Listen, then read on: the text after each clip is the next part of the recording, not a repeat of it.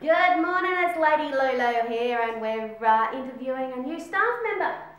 So, new staff member, have you developed a range of communication skills to assist you in building and maintaining strong relationships? We quite often do a lot of networking with other interagency type activities. Uh, we attend team meetings as well, and that's really good for building communication skills and techniques. And probably one of the most important things to do as a manager is have that good, stable, open door policy, allowing people to come and talk to you when they really need to talk to you. So, how have you, how have you contributed to communication with colleagues, huh? We often do a lot of face-to-face -face sessions. So I'll sit down with my staff, just off the cuff, we'll sit down and have a little discussion. Nothing documented, just touching base to see how everyone's going. But also take part in the performance development review of all the staff as well. It's a little bit more seriously toned, however, trying to make the uh, worker feel nice and comfortable in that environment to get the most out of them. And one of the most important things for me too is making sure that I draw on the skills and experience of my staff by getting that input from them in that team meeting environment.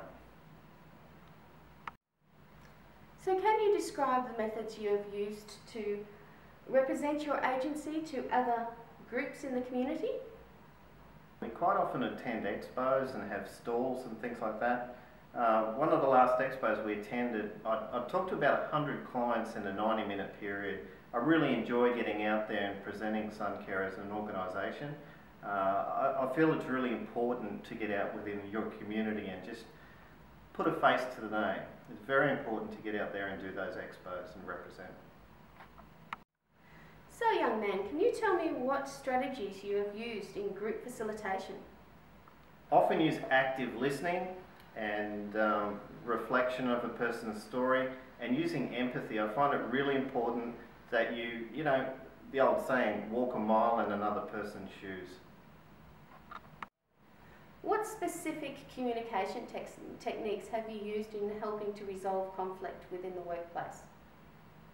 Um, the first thing that I find is paramount is making sure that the environment is appropriate and also again making sure that you set the scene prior to arriving at this point. We have to make sure that all parties are comfortable and uh, also make sure that they're prepared. Uh, for example, offering that they can bring in a third person as a witness or somebody who can take the notes.